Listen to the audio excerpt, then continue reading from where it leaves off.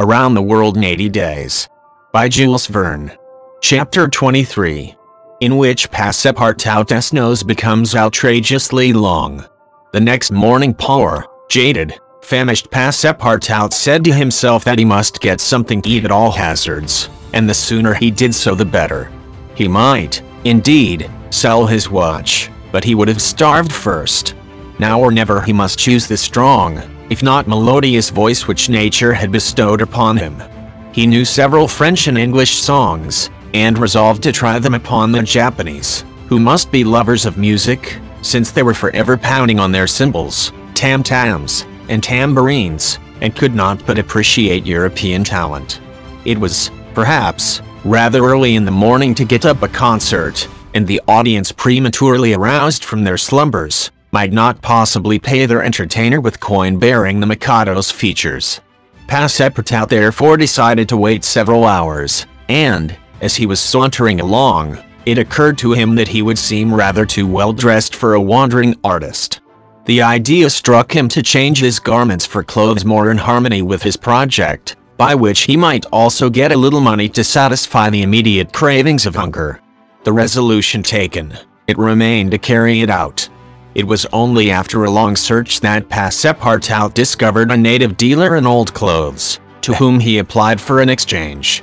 The man liked the European costume, and ere long Passepartout issued from his shop accoutered in an old Japanese coat, and a sort of one-sided turban, faded with long use.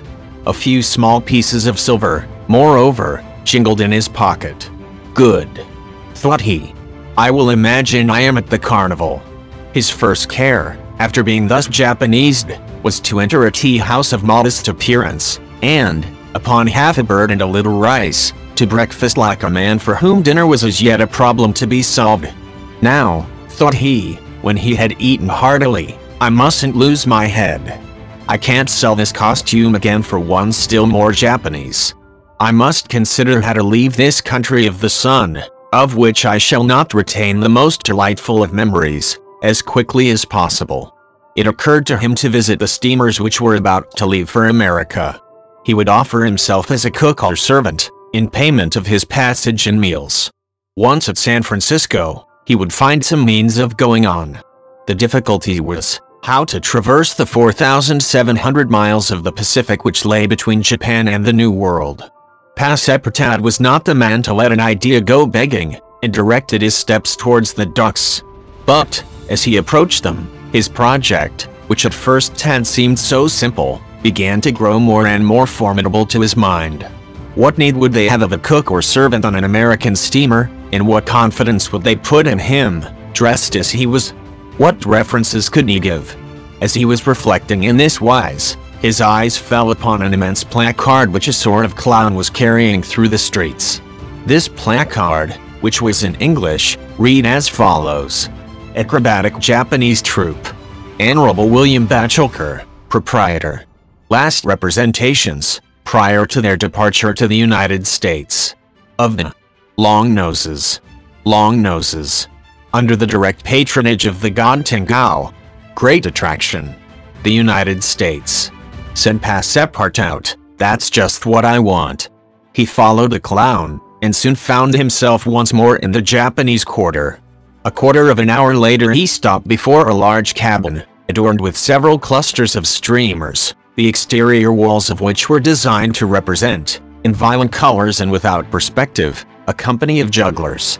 This was the Honorable William Batulcar's establishment.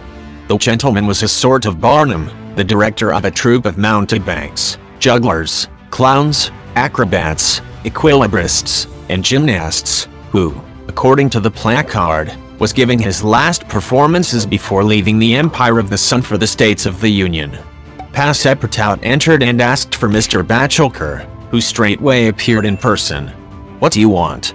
said he to Passepartout, whom he at first took for a native. Would you like a servant, sir? asked Passepartout. A servant, cried Mr. Batulcar, caressing the thick gray beard which hung from his chin. I already have two who are obedient and faithful, have never left me, and serve me for their nourishment and here they are, added he, holding out his two robust arms, furrowed with veins as large as the strings of a bass viol. So I can be of no use to you. None. The devil. I should so like to cross the Pacific with you. Ar said the Honorable Mr. Batulcar. You are no more a Japanese than I am a monkey. Who are you dressed up in that way? A man dresses as he can. That's true. You are a Frenchman, aren't you? Yes, a Parisian of Paris. Then you are to know how to make grimaces. Why, replied Passepartout, a little vexed that his nationality should cause this question. We Frenchmen know how to make grimaces. It is true but not any better than the Americans do. True. Well, if I can't take you as a servant, I can as a clown. You see, my friend, in France they exhibit foreign clowns, and in foreign parts French clowns. Are you're pretty strong, eh? Especially after a good meal. And you can sing. Yes, returned Passepartout, who had formerly been wont to sing in the streets. But can you sing standing on your head, with the top spinning on your left foot, and a saber balanced on your right? Humph. I think so, replied Passepartout, recalling the exercises of his younger days. Well, that's enough, said the Honorable William Batulcar. The engagement was concluded there and then. Passepartout had at last found something to do. He was engaged to act in the celebrated Japanese troupe. It was not a very dignified position, but within a week he would be on his way to San Francisco. The performance, so noisily announced by the Honorable Mr. Batulcar, was to commence at 3 o'clock, and soon the deafening instruments of a Japanese orchestra resounded at the door. Passepartout, though he had not been able to study or rehearse a part, was designated to lend the aid of his sturdy shoulders in the great exhibition of the human pyramid, executed by the long noses of the god Tengao. This great attraction was to close the performance. Before 3 o'clock a large shed was invaded by the spectators, comprising Europeans and natives, Chinese and Japanese, men, women and children, who precipitated themselves upon the narrow benches and into the boxes opposite the stage. The musicians took up a position inside, and were vigorously performing on their gongs, tam-tams, flutes, bones, tambourines, and immense drums. The performance was much like all acrobatic displays, but it must be confessed that the Japanese are the first equilibrists in the world.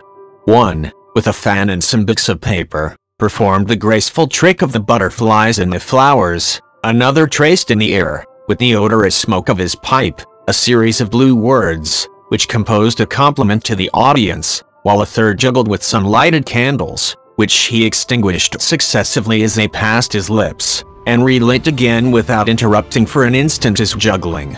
Another reproduced the most singular combinations with a spinning top. In his hands the revolving tops seemed to be animated with a life of their own in their interminable whirling. They ran over pipe stems, the edges of sabers, wires and even hairs stretched across the stage. They turned around on the edges of large glasses, crossed bamboo ladders, dispersed into all the corners, and produced strange musical effects by the combination of their various pitches of tone. The jugglers tossed them in the air, threw them like shuttlecocks with wooden battledores, and yet they kept on spinning, they put them into their pockets, and took them out still whirling as before. It is useless to describe the astonishing performances of the acrobats and gymnasts.